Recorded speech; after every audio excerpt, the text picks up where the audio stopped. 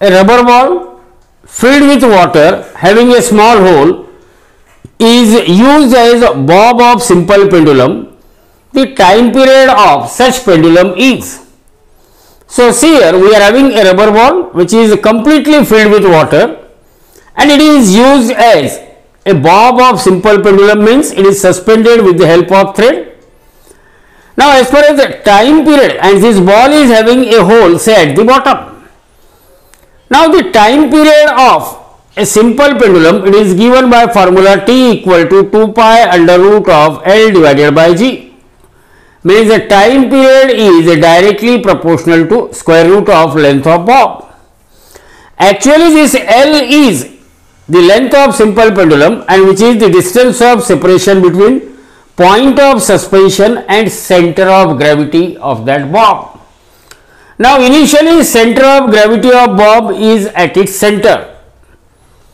Because this ball is having hole, there is a continuous fall of water from the ball to the earth.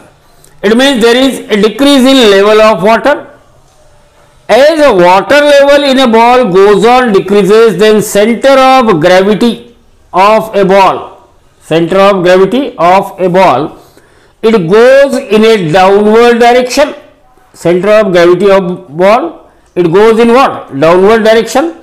So, as center of gravity initially goes downward and then what happens when water level reaches to half? Then center of gravity it starts moving in what? Upward direction. Center of gravity it starts moving in upward direction and finally finally it reaches to its what original position finally it reaches to its original position so see here when water from the ball falls on the earth through that hole Initially center of gravity moves downward. Center of gravity moves downward means what happens to length? Length of pendulum as center of gravity moves down and down, length of pendulum goes on increases. So initially length of pendulum goes on increases. Then center of gravity goes upward means length of pendulum goes on decreases and finally it reaches to its original value. Finally, length will reaches to its original value.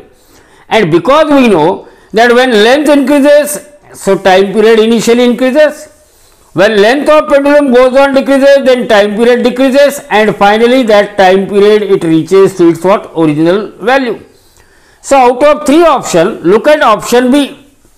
Time period of such pendulum it will first increases, first increases and then decreases and then decreases and finally having the same value that is original value at the beginning, same value at the beginning. So, the correct option for this question is option B.